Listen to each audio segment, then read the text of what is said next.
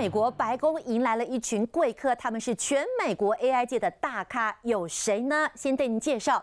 辉达执行长黄仁勋、OpenAI 执行长奥特曼，还有 Google 的总裁波雷特，以及微软总裁史密斯，还有云端亚马逊云端的执行长叫加尔曼，有没有大咖？有，谈什么呢？两个重点，第一个 AI 需求这么的狂热，他们能够提供哪一些的需求？第二个是，到底现在他们怎么样面临风险？好，说到了风险，辉达现在所在的风险还包括了反垄断案。其实美国的司法部一直传出在查他，虽然他说没有收到传票，但是大家都很担心，到底反垄断案对于辉达会是刺穿他的利刃，还是商战收的一个手段呢？张老师，我们要请您上台来。所有的大咖昨天谈的，除了是商机之外，还有危机。到底现在 AI 面临了哪一些风险？对，现在大家呢都在谈 AI 带来很大的商机。嗯，可是 AI 呢有九大潜在的风险。哪九大潜在风险呢？主要就是泄露、偏见、隐私、幻觉、网络安全、可解释性，还有过度依赖、制裁权。公众信任。我们现在一直在讲 AI 的手机、AI 的 PC，对，我们从来没有讨论过这些可能隐藏在里面的风险。这是我在节目上，我发觉所有的财经节目，我是第一个讨论 AI 带来的潜在风险。谢谢你留给我们，我们来给大家提醒一下，到底有哪些的风险藏在里头。那这九大风险呢，主要是大家最在意的是哪一个风险最大？嗯，那当然公务员。会优先在意，因为公务员可能被告嘛，所以这那个那个呃有个机构呢，它是刚刚发布的，它是在去年五月到十一月，哈问的都是政府机构或公务员，问他们生成式 AI 所带来的风险。哦，那调查的国家有五个，就是纽西兰、呃那个澳大利亚、韩国、英国、加拿大这五个国家的公务员，所以这个是第一个非常具有。公正性的调查报告。那从公务员的角度，潜在风险第一名当然是泄露。嗯哼，对，泄露了机敏跟制裁权的相关资料。是。第二个风险是偏见。什么叫偏见呢？像说那个假设我现在要那个啊要公务员，或者我要攻读生，结果我我在因为 AI 生成会帮我过滤嘛，我要求呢怀孕女性高龄要排除掉。这个就叫做偏见，或者叫做歧视。排名第二名十六点五，这个风险在哪里？好，那如果说不小心，我我我我丢了履历表，哎，为什么一直都没有呢？哦，对我就会控告这个公务机关。哦。它是偏见跟歧视。OK，就是比如说我在发出真人启事的时候，是我排除了这几个被社会定义叫比较弱势的人，对，就可能有被告的风险。对，OK，对，好。第三个是隐私，当然了，就是你没有经过个人同意，资料被揭露，是排名第三，十五点二趴。嗯哼。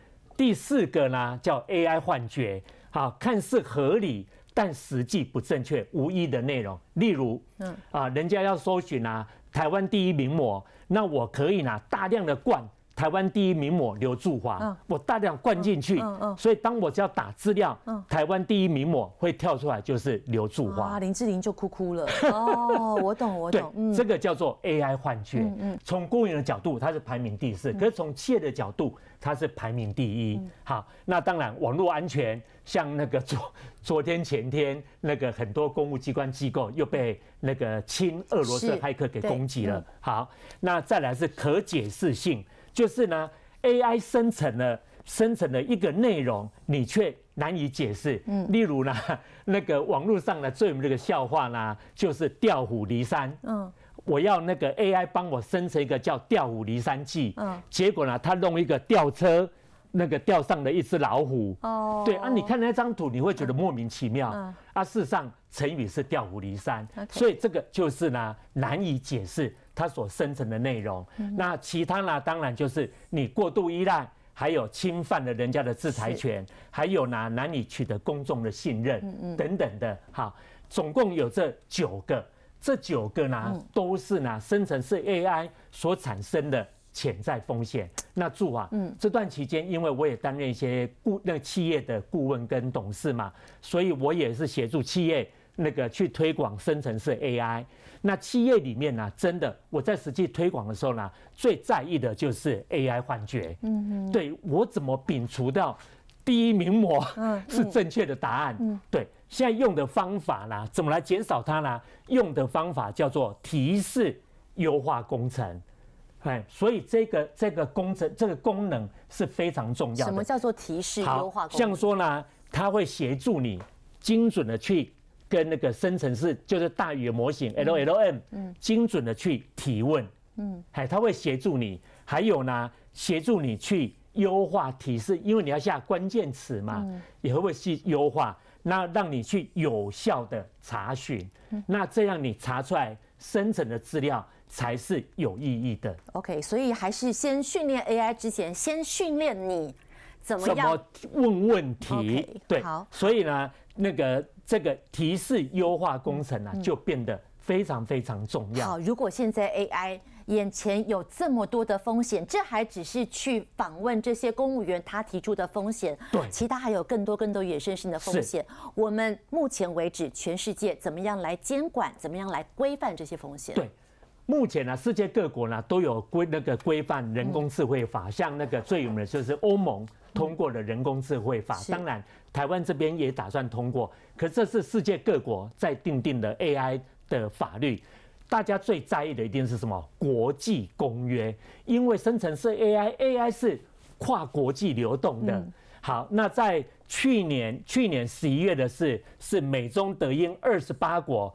定了一个 AI 国际协定，嗯，但它不具有法律效力，只是协定而已，只是个协定而已。它呢是要确保顾客跟社会大众免于 AI 滥用跟 AI 的威胁。嗯，好，它呢它不具有约束力，而且内容呢都是一般性的。我希望你不要怎样，然后我奉劝你不要怎样。对对，但你做了，我还是莫可奈何。OK，好，那那个整个国际公约的第一个。具有法律约束力的是加拿大、以色列、日本、澳洲等五十七国，比去年的二十八国多了一倍。这五十七国呢，经过多年酝酿，在今年五月通过了人工智慧公约。通过归通过，哦但是世界各国要去签署，为什么？因为毕竟要经过他们的那个国会相关通过嘛。所以目前通过的。那个最早通过的就是美国、欧盟跟英国，尤其这三个国家正是 AI 最发达的国家。是，哎，好，所以这个公约今年五月的时候通过，由这些国家一起拟定的。但是最新消息是，九月五号已经经过国会签署的是美国、欧盟跟英国。对。这个这对全世界那个发展生成式 AI 是一个正面的消息，是避免 AI 失控，嗯，避免啊 AI 滥用跟威胁。好，你说它是第一个全世界第一个具有法律法律约束力的，大概可以约束哪些事情呢？像说呢，你如果呢导致有害跟歧视的结果，必须负起法律责任跟赔偿责任。哦，对，还有你必须尊重公平跟隐私权，让受到你。受那个受害者有法律反制，嗯嗯，好，那当然他的目的呢，那个是如果构成风险，你可以去反制他，当然也是鼓励有责任的追求创新，而不是失控。我爱怎么样，第一名模就是刘柱华，第一名模就刘，那就是失控了。所以呢，现现在大家强调的生成式 AI 最核心的叫大型语言模型 LLM。你的东西是要可信任的。投资市场瞬息万变，今天的利多很可能就成为明天的利空了。所以，怎么样随时能够掌握最新讯息？重点是做出专业的解读，而且化为精准在操作上的多空判断。记得按赞、订阅、开启小铃铛，前线百分百，每天带你掌握全球最新讯息。